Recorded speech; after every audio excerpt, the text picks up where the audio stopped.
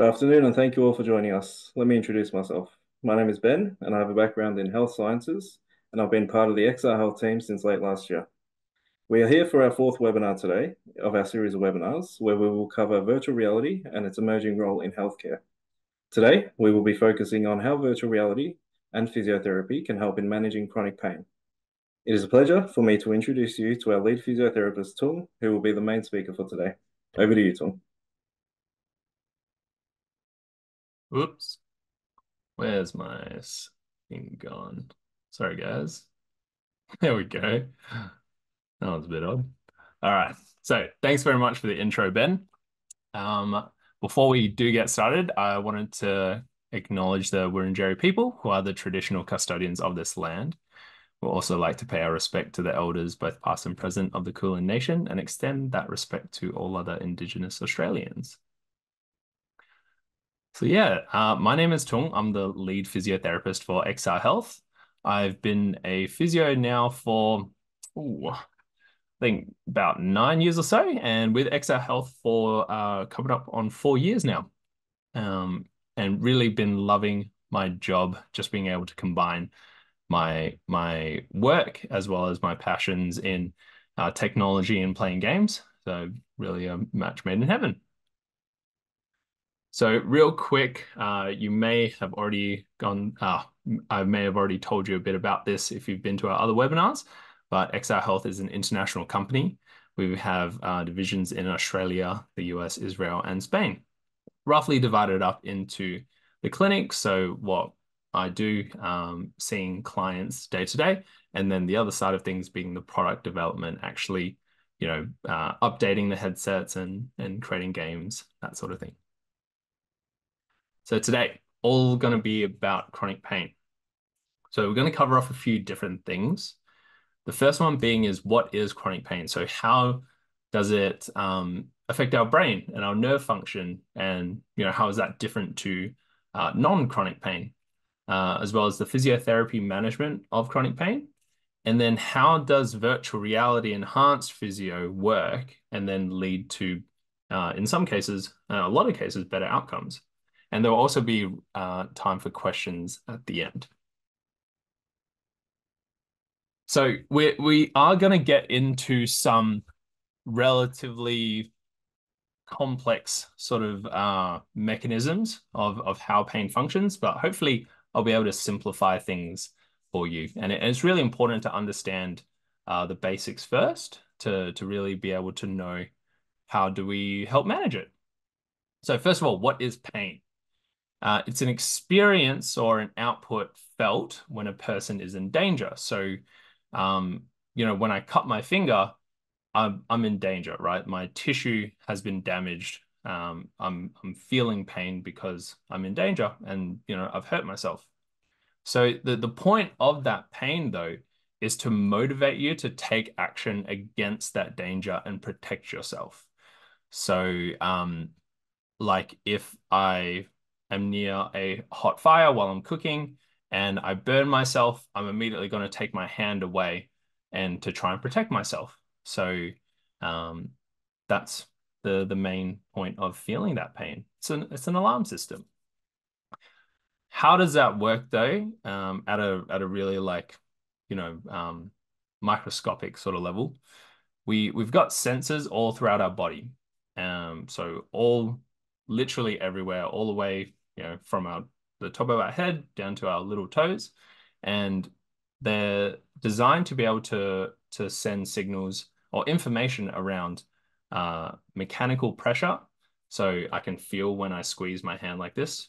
Temperature changes, we feel when we're hot and cold, as well as chemical changes. So that can be things like um, inflammation. You know, we can feel those senses, that that chemical change.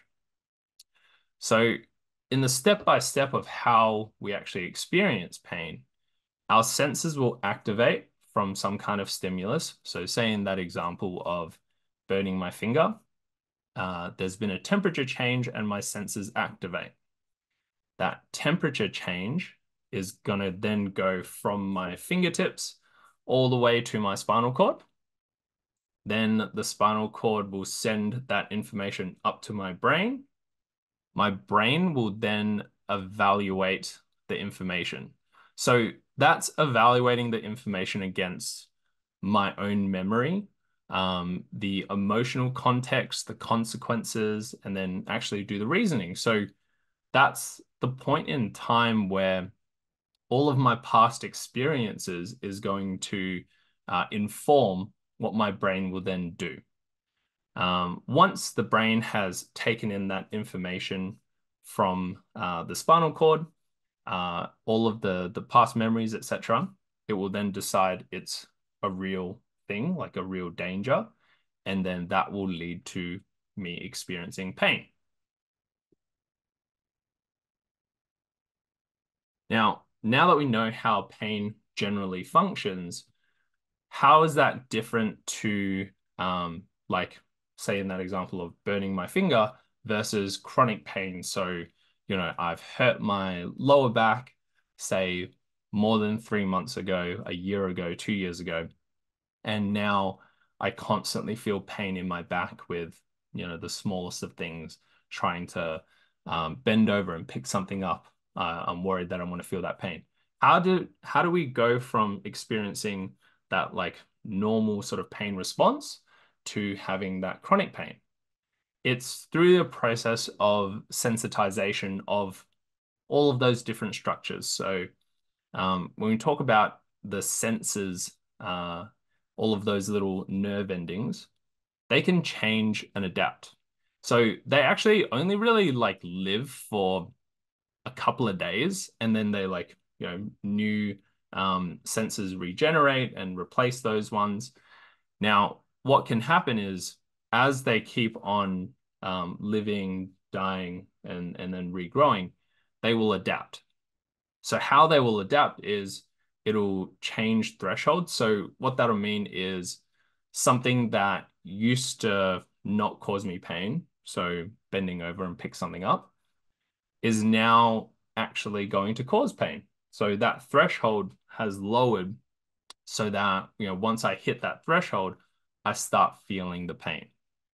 Um, they can stay open for longer. So that information channel going from our senses to our um, spinal cord, they will stay open for longer and bring in more of that information, more of that pain information. They will also increase in number. And the purpose of doing all of this is our senses are trying to adapt so that it becomes like more efficient at at um, sending those pain signals to better protect our bodies. So that's like the purpose of it. But what that can lead to is experiencing more of that pain, a higher intensity, whereas previously it wasn't as intense. So it's trying to help us, but a lot of the time it becomes too sensitized and then will prevent us from doing those sort of like day-to-day things. And that's essentially, you know, what will happen with chronic pain is like the more we experience that pain, the more the senses will change, and then the the, the easier it is we'll feel that pain. The the other concept we want to get into though is neurotags. So it's the way that our brain stores information. So what will happen is we'll have this painful experience in a specific situation. So, say, um, after I've injured my back, I go to pick something up and it hurts. I've I've got this now painful experience in a very specific situation. The brain will then store that information in that memory as a neurotag. And then what will happen is when we're in a similar situation, so say like a week down the road, or a month down the road after bend down and pick something up again, it will want to activate and activate more often. And the purpose is to again try and protect our bodies. So we we want to well what the brain wants to do is experience that pain to try and protect our bodies because it thinks that it's in danger. Uh, but what happens is it's a lot more efficient at producing pain. So now we've got a couple of things happening. We've got our senses. So like say down at my back or down at my fingers, they're changing and adapting and becoming sensitized and sending that pain signal up a lot more often or a lot more intense. But then our brain is also activating those neurotags more often to help us experience that pain. Um, but what will happen is these things are constantly happening, even like months or even years down the road after that initial injury. After that tissue has already healed, the, the senses are still sensitized, the brain is still activating those neurotags. And then it's preventing us from doing those things that we need to be able to do by trying to protect us when we actually don't need that protection anymore because you know that initial injury has healed. So now that we we actually know what happens with chronic pain, how it changes our nerves and how it changes our brain, how does physiotherapy help manage that? The one of the main things will be to get moving. Like we have to be able to do those things that we need to be able to do. We need to be able to bend over and pick something up. Um, we need to be able to exercise, but it has to be in a very specific way. It has to be in a really um, specific plan and a graded exposure to those to those movements. So um, the point of doing that is to be able to get moving without activating the neurotags. Um, and that's where, you know, going to a physiotherapist, physiotherapist to be able to assess where you're at right now. So, you know, what are you physically capable of doing before experiencing the pain? And then working at that level and then very slowly just increasing that level um, and, and the capacity of what your body is able to do without experiencing pain. The other side of that is understanding all of those things that we talked about just then with how uh, the nerves work and how the brain works, um, really understanding chronic pain and the relationship between pain and activity level. Because what will happen is, you know, as we feel that pain, we're less likely to exercise because, you know, the pain is so terrible. Like we don't want to feel that pain. So we don't exercise because we want to avoid that pain. But then our control gets worse, our strength becomes worse, our endurance becomes worse. And that again reduces that sort of pain threshold um, in terms of like what we're able to do before we we we experience pain. That threshold is a lot lower. So um, you know, doing something really simple and really easy suddenly is causing us a lot of pain. And then the other big thing is just learning the education, uh, learning about all of this, because, like I said, it is uh, a relatively complex system, and there is a lot to learn, and it will take like, you know, a few weeks or a few months of going over it bit by bit, going over points we talked about earlier, uh, to really fully understand um, the the physiology of pain and and how to manage chronic pain. There are certain things to keep in mind. So, you know, th there's always that um, classic saying in like physio or exercise where it's no pain, no gain. But we do want to allow pain be the guide to a very certain extent. We can't fully let it be the guide because if we did, then we're going back into that cycle of you know not doing anything because it's painful and then becoming weaker and then you know feeling that pain more and more we have to be able to take control of that pain and you know be able to tell ourselves tell the brain and tell the body that you know bending over to pick something up should not be painful um, you know this is a very simple task and it shouldn't be painful and what's really interesting is the power of the brain to make a change in how the nerves behave.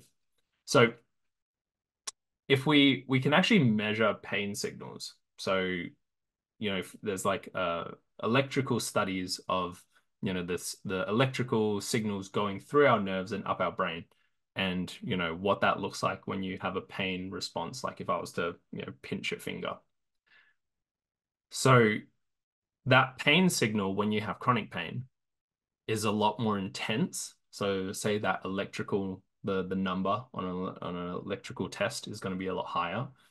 Um, but the more you're able to tell yourself that no, this is a normal um, thing to do, I should not be experiencing pain. Over time, the brain has this ability to tell the nerves that, okay, you guys need to calm down and not be as sensitized. And over time, it will reduce the intensity of that pain signal, which is really amazing. So we do have to take control of that pain, but then, you know, still understand that we will let pain be the guide to a certain extent and not do too much. Has to be that graded exposure to more exercise.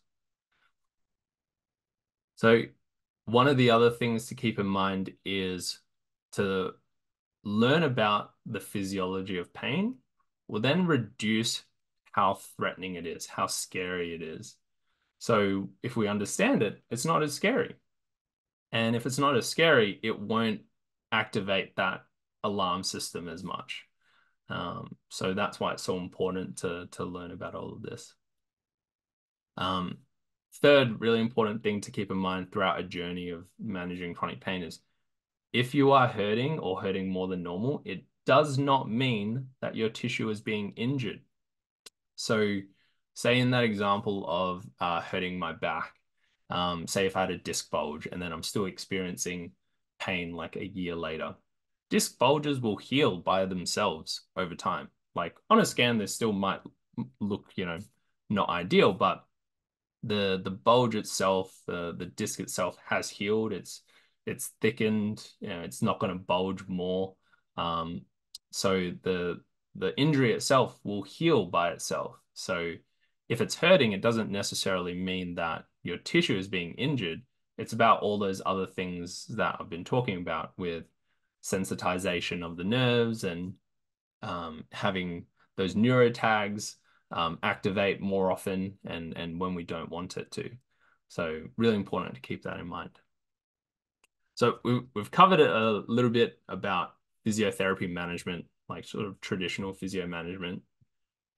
How does virtual reality physiotherapy differ? So the the main thing is most chronic pain clients wouldn't have tried VR before. And if they haven't tried it before, there's like no neurotag to associate virtual reality with pain. So we can actually exercise in virtual reality without activating that pain neurotag. So for example, you know, we've got a boxing game, you know, something that if you do have a lot of chronic pain, that might be quite difficult. But boxing in a virtual reality world, we don't have that neurotag. And you might be able to do one minute or two minutes without experiencing pain, which is fantastic. We're not activating that neurotag.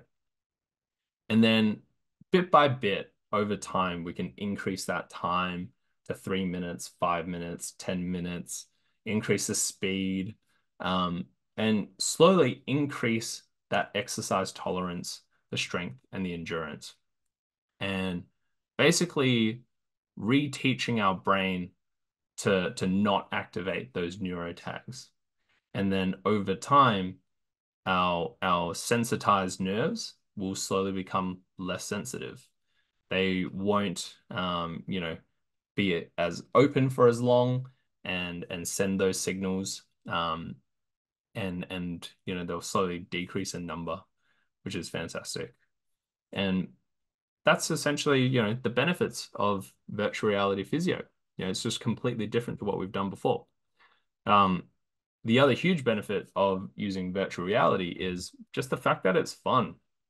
Like it's it's not having to go to the gym and pick up some weights and you know be scared about doing weights.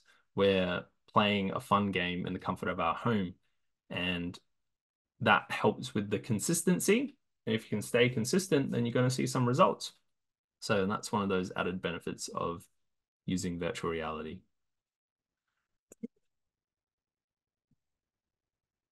Excuse me. So I wanted to show off some of those applications that we do have. Um, this first one is called Balloon Blast.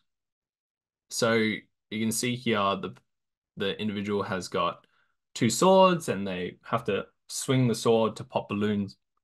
And obviously fantastic for if you've got shoulder problems, but also if you do have any back problems, you know, being able to turn and activate your core.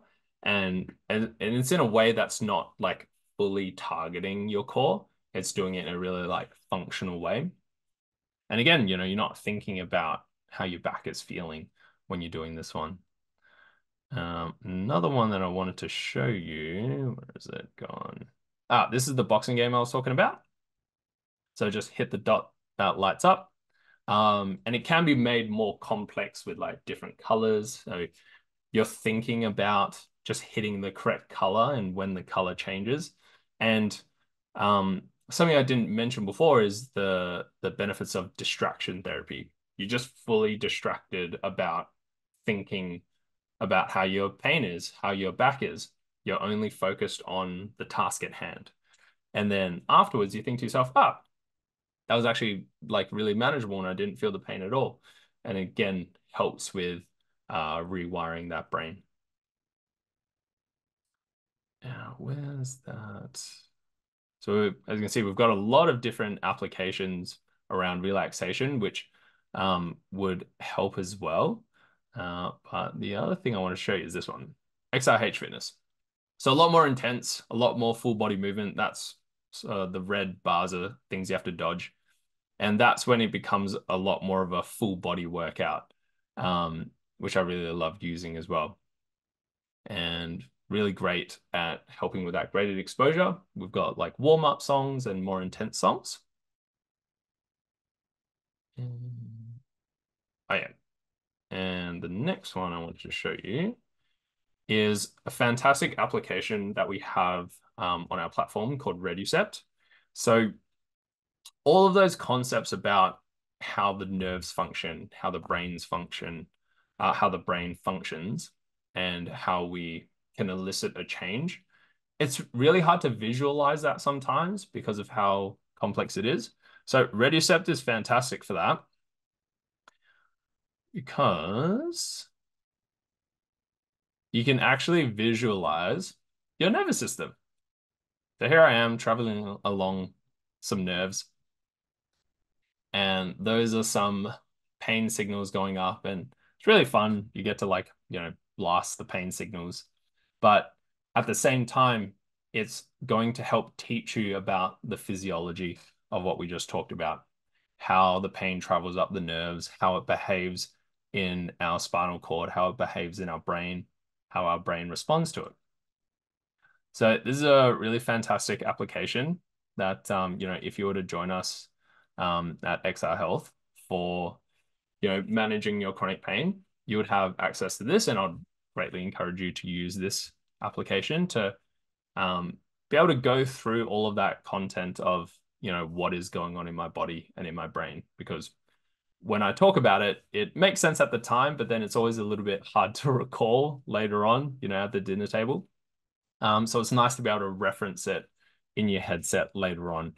Um, the other benefits to this application is it's also got um, different like pacing strategies and, and management strategies uh, that you can work on as well. So yeah, that was a quick little overview of some of our applications that I would use. Um, I would also uh, use some of our like you know more traditional physio techniques because it will help teach you some control um, around your body, and then combine it with virtual reality. It's a really fantastic way to you know combine um, the old and the new. So if you uh, wanted to come over to XR Health, quick referral process um, is, you know, once we do get the referral, then uh, we'll get the office to, you know, book you in for initial assessment.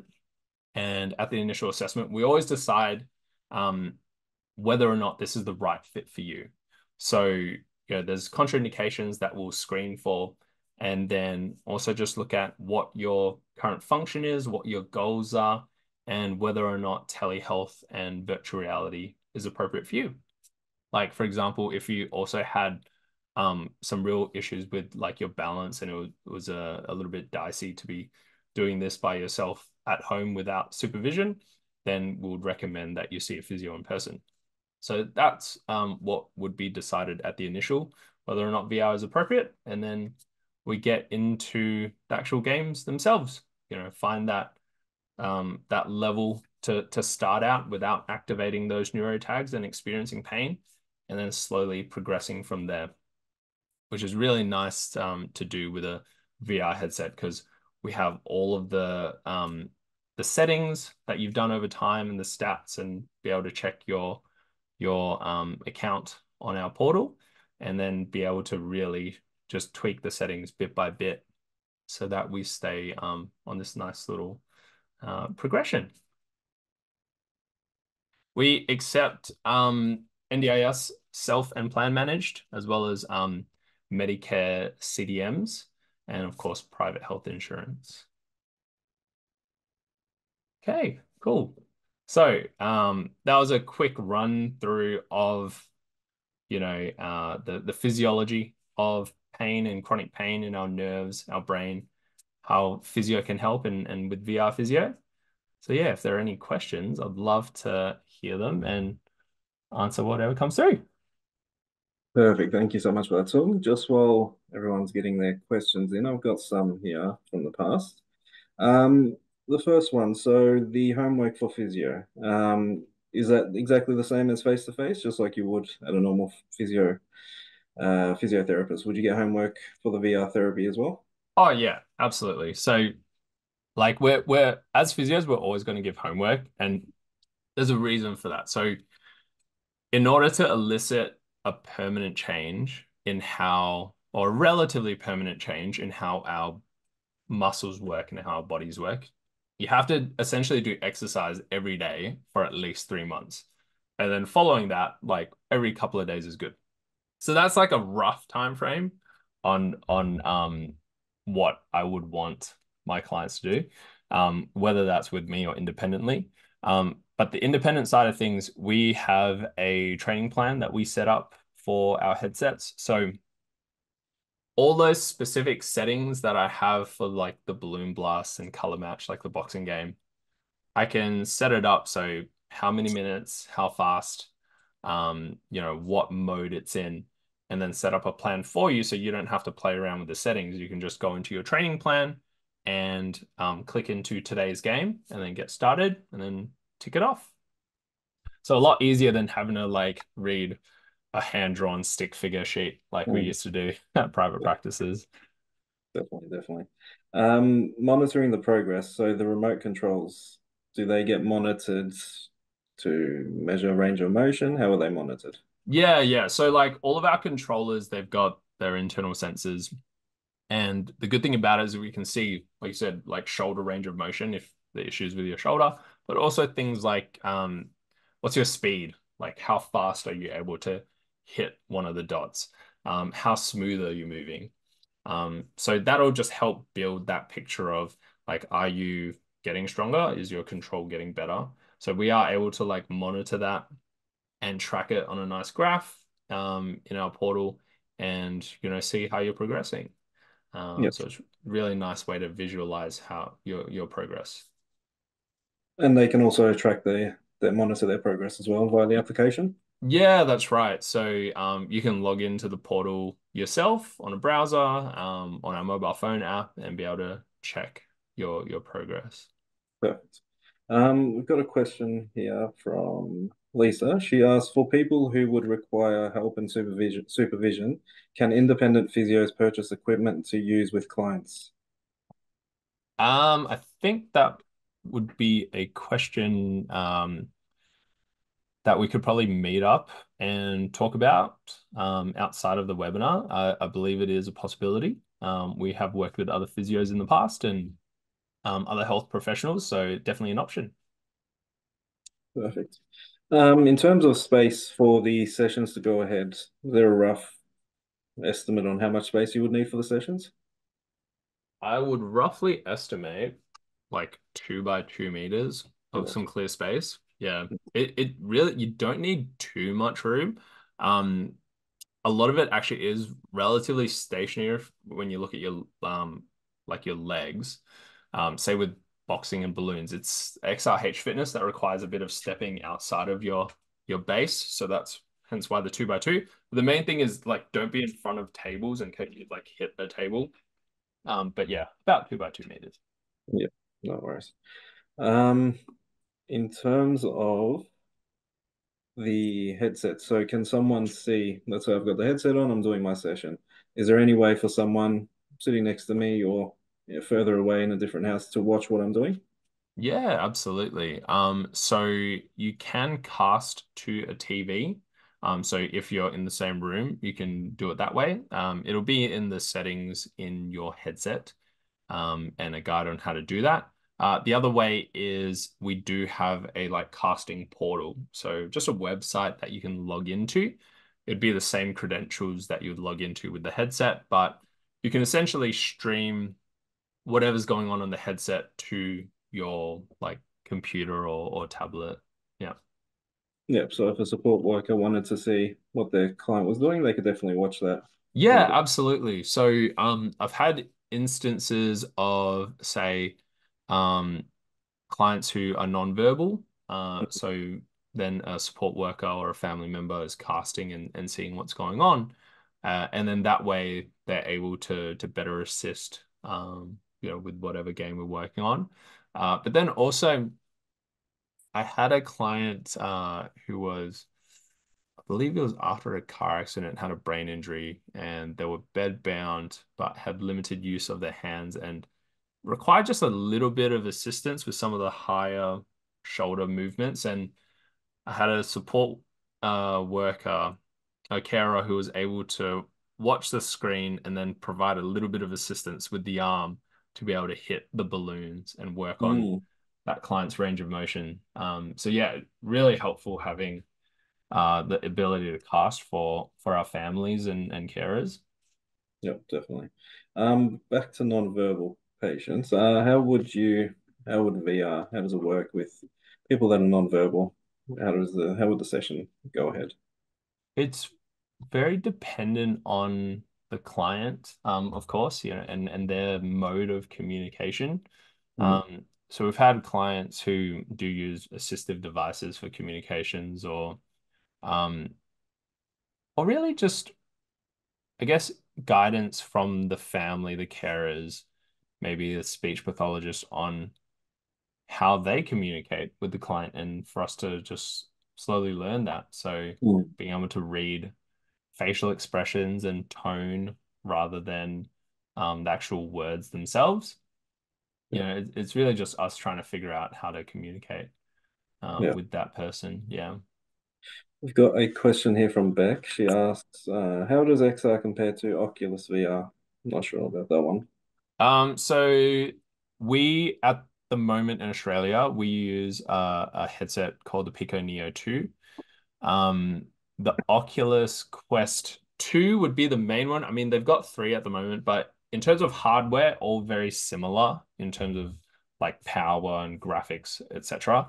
The the main difference is we are using it as a medical device. So our platform uh, combined with the headset makes it a medical device. So we're TGA registered and um, FDA registered over in America.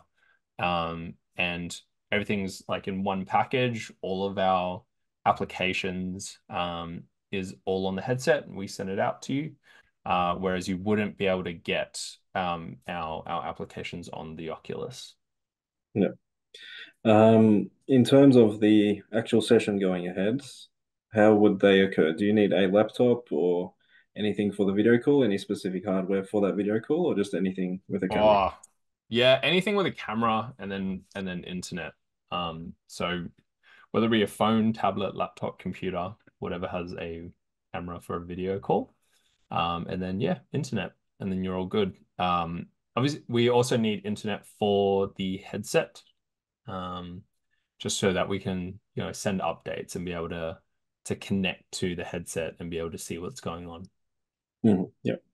Um, in terms of applications this time, so are there any applications where I'm not sure if it's applicable in physio, but where you can see the patient and they can see you in the headset, where you can do certain activities in the room.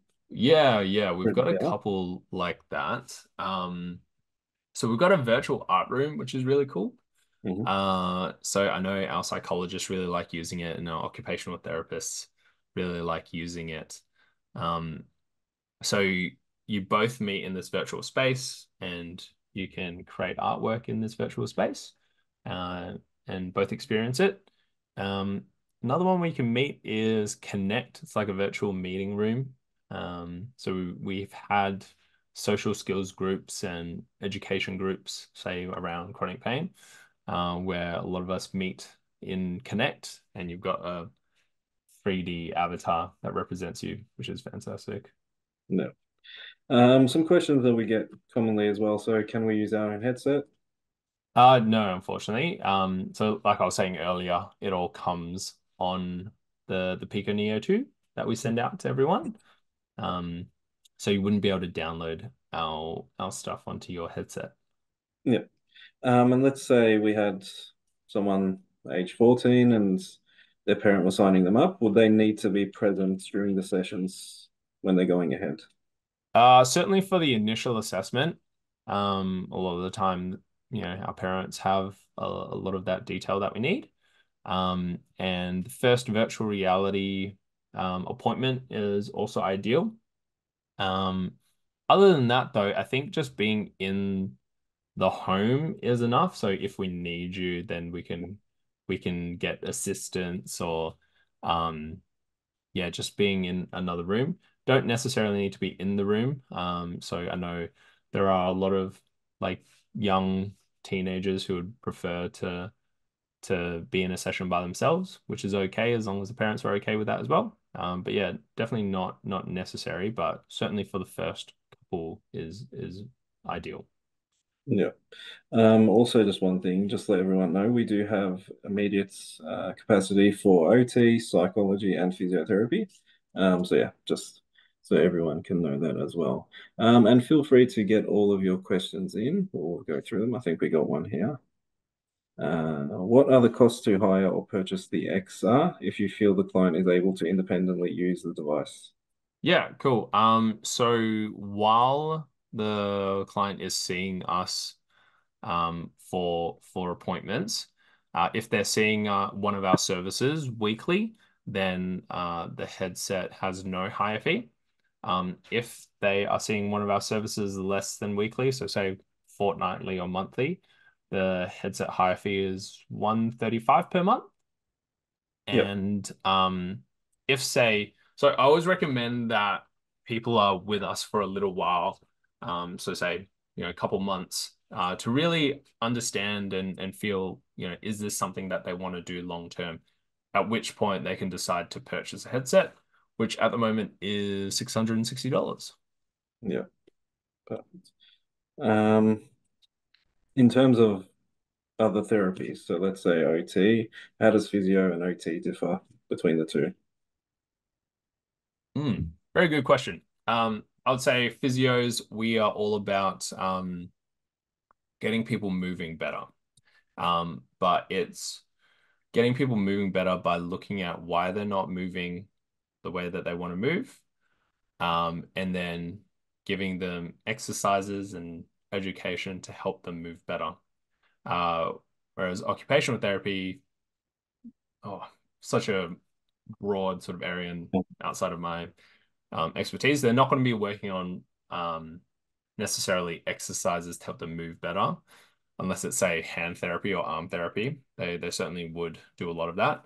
Um, but they're going to look at a whole bunch of different things, um, you know, modifying activities or um, you know, getting equipment, um, or looking at the more cognitive side of things, uh, you know, short-term memory, problem solving. Um, some OTs specialize in emotional regulation as well. Um, so OT is a very broad sort of area, whereas I can sort of simplify physio as we help people move better. And then of course there are subspecialties like neurological and geriatric and um, rehab, but essentially we help people move better. Yeah. Um, so we talked about chronic pain. Is there any major area other than chronic pain that physiotherapy and exercise health could help with? Yeah, absolutely. Um, a lot of different areas. Um, certain kinds of neurological rehab, like post-stroke, um, or you know, post uh, brain injury. Um, you know, we can help with general fitness, strengthening, endurance, coordination, um, helping with proprioception. So these might be for people who are, um, you know, just a little bit weaker than what they would like to be because, you know, they can't focus on doing uh, a sport or or doing exercises or Yeah. um, you know, something that's quite common is um, autistic kids, they aren't as interested in sports or they don't quite like it because of the the heat and the sweating sensation if they have some um some issues with with you know feeling those things um and yeah we help them get stronger uh, also you know people who have hypermobility or Ehlers-Danlos syndrome um you know we see a lot of different people Yeah. Um, in terms of ASD, you spoke about there. Could you go into a little bit more detail about how that can help with physiotherapy? oh yeah um if you really want a lot of detail, we've got a physio um, and and how we help autistic individuals. Uh, we've got a webinar on that, so there's a recording for it. If you'd like, um, please send us an, email or a call, and we can send that link out to you. Yeah. Um, but yeah, common common things with our uh, autistic population is uh, reduced endurance and strength, um, bit of clumsiness, uh, so decreased coordination. So we can help with all of those things. Uh, yeah. Yep. Um, also one for more so OT.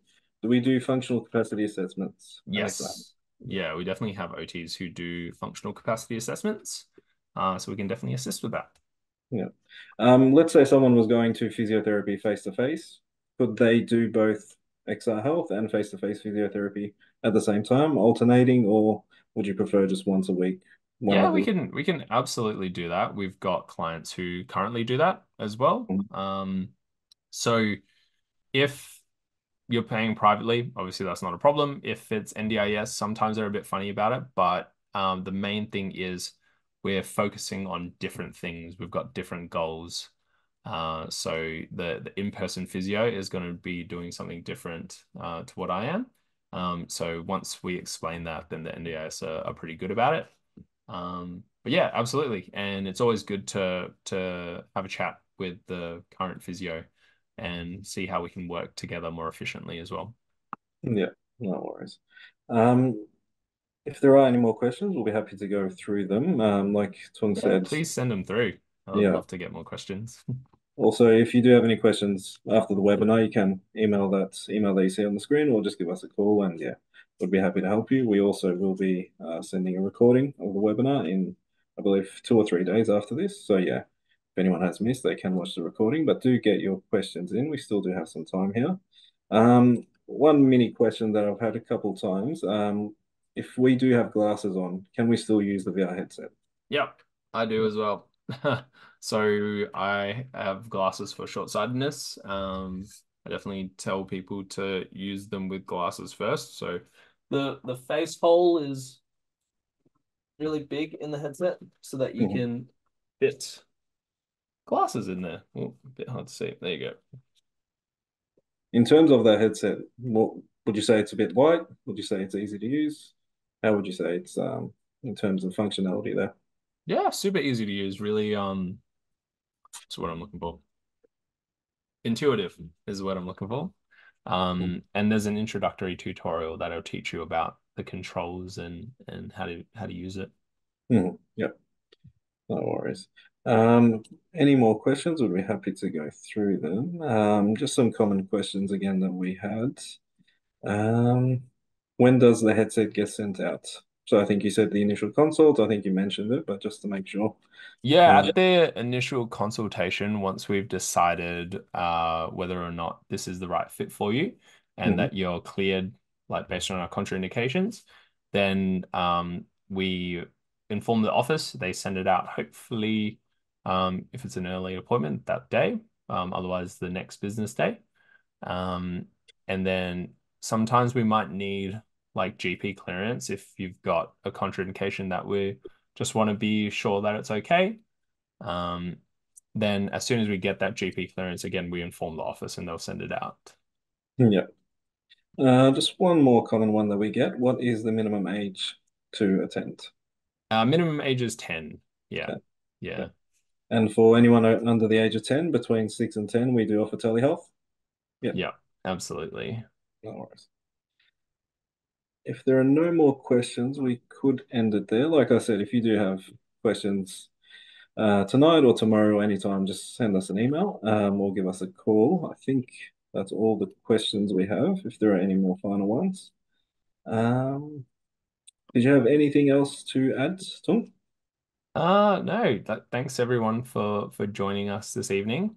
Um, you know, if you feel like you know we can help you in your chronic pain journey, or you know of someone that does have chronic pain, please uh, tell them about us. Send send them the webinar link. Um, you know, something that they haven't tried before, and maybe they've tried everything. So it's always worth trying something new. Uh, yep, we've got someone asking for send out the recording. Yeah, we will send the recording, I think, in two or three days via email. So do check your email. It should say in the subject recording of the webinar. Um, and it's just a link to the webinar, and you can uh, watch it when you're free. Um, so yeah, two or three days I should be sent out, hopefully. But yeah, thank you all for attending. If there are no more questions, we'll end it there. Like I said, any more questions, email or call, um, 9 a.m. till 7 p.m happy to answer any more questions. Perfect. Thanks, everyone. Thank you guys for joining us. We'll see you in our next webinar. Thank you. Have a good night.